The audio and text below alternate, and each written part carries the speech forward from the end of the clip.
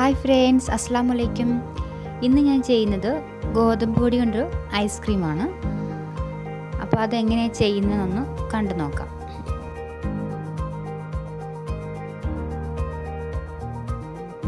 അതുപോലെ തന്നെ എന്റെ ചാനൽ സബ്സ്ക്രൈബ് ചെയ്യാത്തവർ സബ്സ്ക്രൈബ് ചെയ്യാൻ മറക്കരുത്.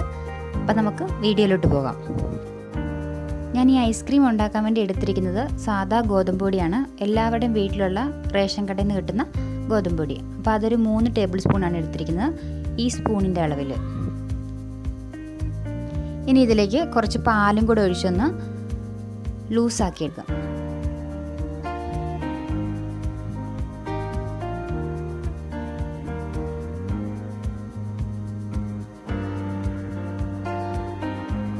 കട്ടയൊന്നും ഇല്ലാതെ ലൂസാക്കി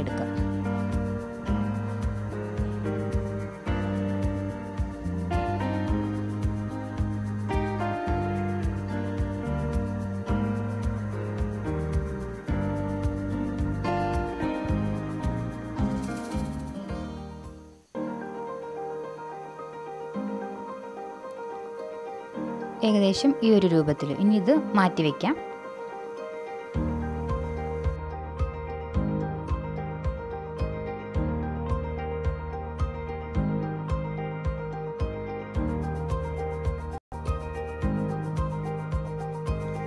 ഇനി പാലാണ് ആവശ്യമുള്ളത്. അര ലിറ്റർ പാലാണ് ഞാൻ എടുത്തിരിക്കുന്നത്. അതൊന്ന് തിളപ്പിക്കാൻ വയ്ക്കാം ഇനി മധുരം ഓരോരുത്തരുടെ ഇഷ്ടം അനുസരിച്ച് മധുരം കൂട്ടുകയും കുറയ്ക്കുകയും ഒക്കെ ചെയ്യാം. ഇപ്പം ഞാൻ എടുത്തിരിക്കുന്ന ഒരു മൂന്ന് ടേബിൾ സ്പൂൺ പഞ്ചസാരയും ഒരു ടേബിൾ സ്പൂൺ മിൽക്ക് മെയ്ഡും മിൽക്ക് മെയ്ഡ് ഇല്ലെങ്കിൽ അതിനനുസരിച്ച് പഞ്ചസാരയുടെ അളവ് കൂട്ടിയാൽ മതി.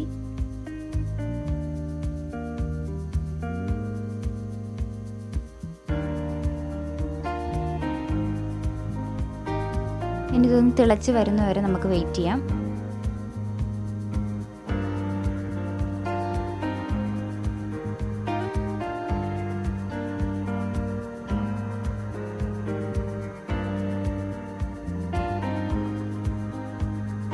മിൽക്ക് മെയ്ഡ് ഒരു ടേബിൾ സ്പൂൺ കൂടി ചേർത്ത് ഞാൻ നേരത്തെ പറഞ്ഞില്ലേ?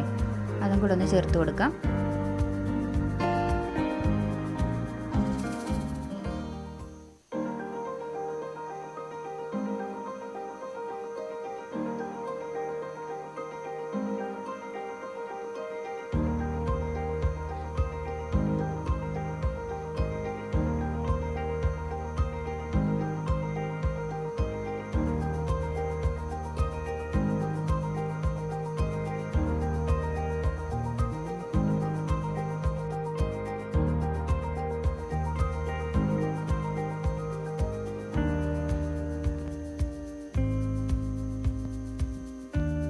മിൽക്ക് മെയ്ഡും പഞ്ചസാരയും നല്ലതുപോലെ അലിഞ്ഞിട്ടുണ്ട്.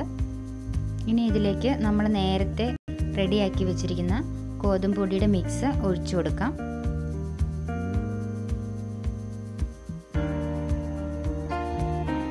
കുറേശ്ശെ കുറേശ്ശെയായിട്ട് ഒഴിച്ചു കൊടുക്കണം. തീയും കുറച്ച് വെക്കണം. ഇല്ലെങ്കിൽ പെട്ടെന്ന് അടി പിടിക്കും. അപ്പോൾ അതിനനുസരിച്ച് ഒഴിച്ചു കൊടുത്തിട്ട് ഇളക്കിക്കൊണ്ടേയിരിക്കണം.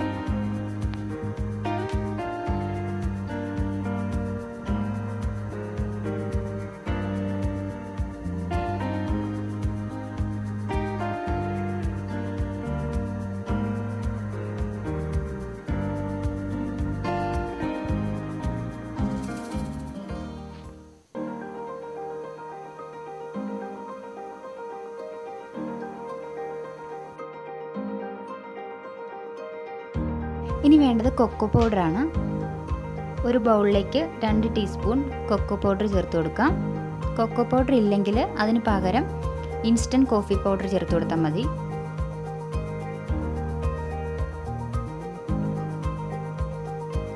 ഇനി ഇതൊന്ന് ലൂസാക്കാൻ വേണ്ടി കുറച്ച് പാലൊഴിച്ചൊന്ന് ലൂസാക്കി എടുക്കാം.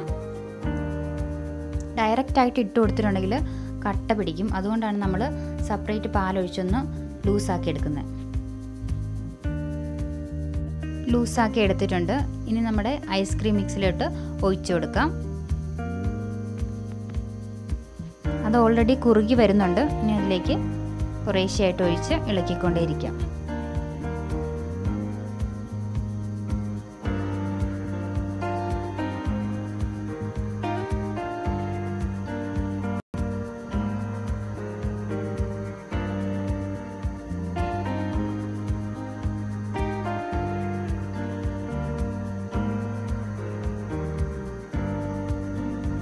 നല്ലതുപോലെ കുറുകി വന്നിട്ടുണ്ട്.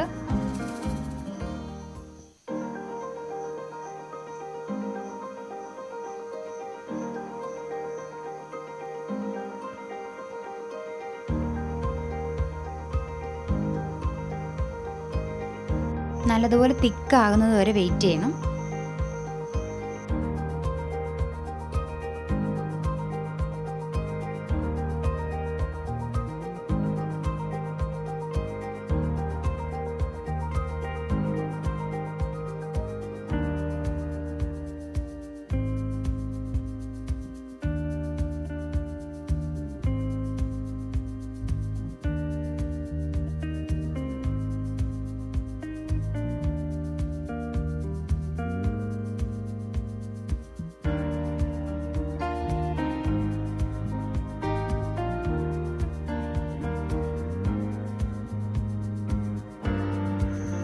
നല്ല തിക്കായിട്ടുണ്ട്. ഇനി നമുക്ക് സ്റ്റൗ ഓഫാക്കിയിട്ട് ഇതൊന്ന് ചൂടാറാൻ ഫാന്റെ ചുവട്ടിൽ വയ്ക്കാം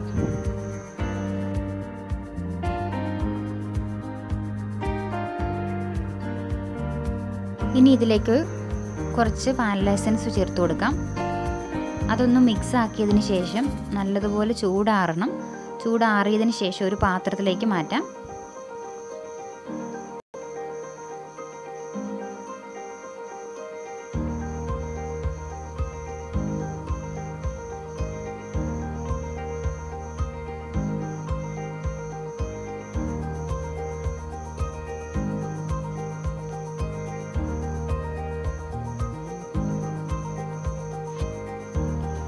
ഞാനിതൊന്ന് ബീറ്റ് ചെയ്ത് കൊടുക്കുന്നുണ്ട്.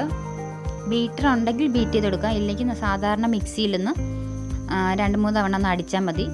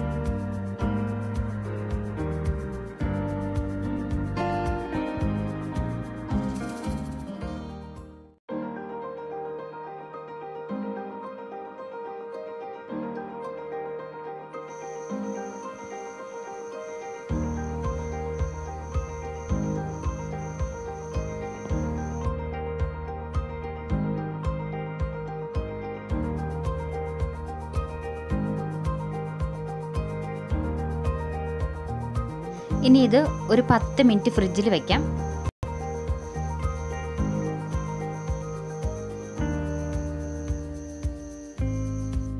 പത്ത് മിനിറ്റ് കഴിഞ്ഞ് ഞാൻ ഫ്രിഡ്ജിൽ നിന്ന് പുറത്തെടുത്തു.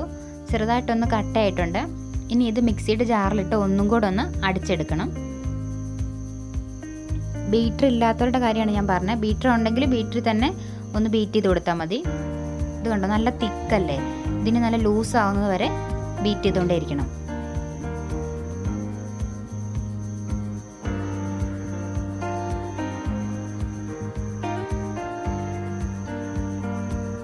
മിക്സിയിലാണെങ്കിൽ കുറച്ച് നേരം ഒന്ന് അടിച്ചു കൊടുത്താൽ മതി. അപ്പോൾ ഇതുപോലെ ലൂസായിട്ട് കിട്ടും.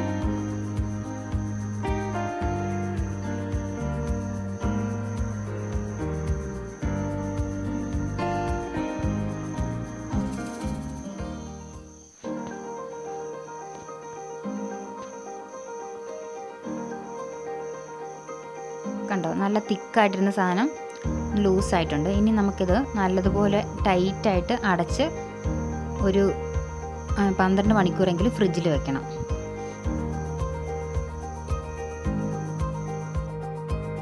അങ്ങനെ നമ്മുടെ ഐസ്ക്രീം ഫ്രീസറിൽ നിന്ന് ഞാൻ എടുത്തിട്ടുണ്ട്. നല്ല കട്ടയായിട്ടുണ്ട്.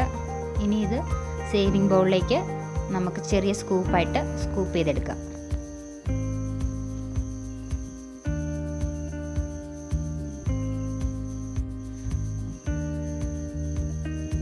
സ്കൂപ്പ് ചെയ്തെടുത്തിട്ടുണ്ട്. ഇനി ഇതിലേക്ക് എന്റെ കയ്യിൽ കുറച്ച് ചോക്ലേറ്റ് ചിപ്സ് ഉണ്ടായിരുന്നു. അത് വെച്ച് ഞാനൊന്ന് ഡെക്കറേറ്റ് ചെയ്ത് കൊടുക്കുവാണ്.